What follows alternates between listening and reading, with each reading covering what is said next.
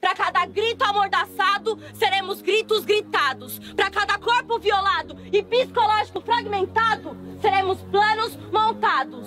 E aí, boy, tá achando exagero? Essa aqui é só o mínimo para quem morre só pelo fato de ser mulher ou te remeter ao feminino. Enquanto você estuda Dolabella como seu autor favorito, eu tô fechada com mina preta que lança livro. E se você quer saber a vertente do meu feminismo, se você quer saber a meu feminismo, nem adianta assistir as sufragistas, porque o meu bonde vem muito antes disso.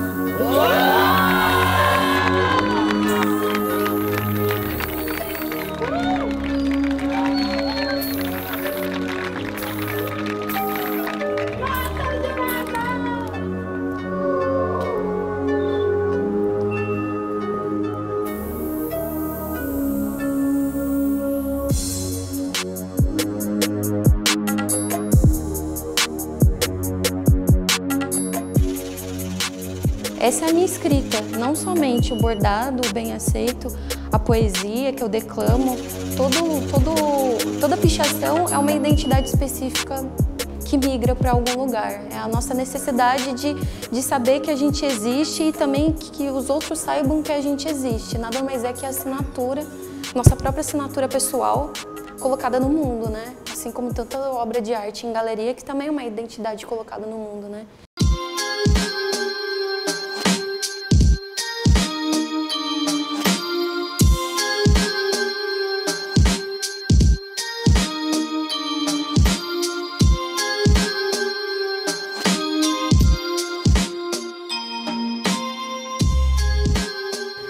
Eu acho importante, é, quase fundamental, não só o SESC, porque foi um trabalho conjunto, mas o projeto Velotrol comprar esse trabalho, não comprar do lado da moeda da barganha, mas comprar esse ideal para que não é necessário, eu nem quero na verdade que seja uma coisa bem aceita ou que entre dentro do aspecto de estética, de arte contemporânea, ou que é visto sendo arte ou não.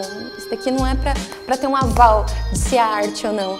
Mas eu acho importante que se pelo menos, mesmo que você não goste, mesmo que a população não goste, que a gente tenha os nossos gostos pessoais do que é arte ou não, que seja feito diálogo. Colocar esse tipo de trabalho em evidência fora do campo da marginalidade, da criminalização, é, é pelo menos deixar em aberto um, um diálogo.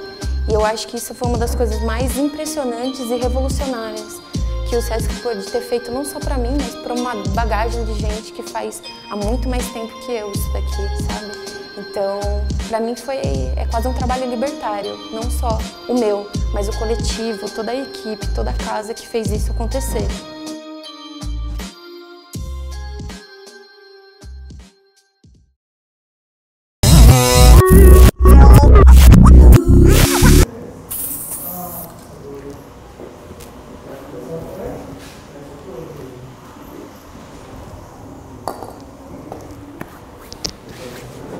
Kamu.